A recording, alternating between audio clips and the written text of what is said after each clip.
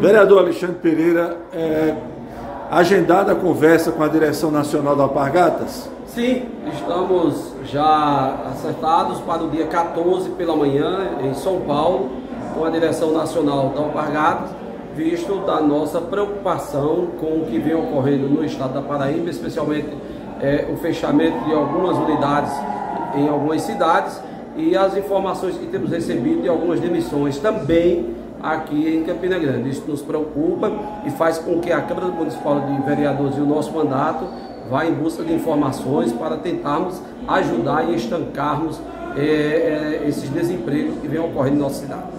Para resgatar o que o senhor citou na tribuna, a escala de demissões continua a acontecer? Exato, a informação que temos recebido é que há um número muito grande de demissões. Ontem mesmo, vocês da imprensa é, anunciaram o fechamento de uma outra unidade com 800 empregos aqui bem próximo a Campina Grande, como já tivemos em Alagoa Nova há alguns dias.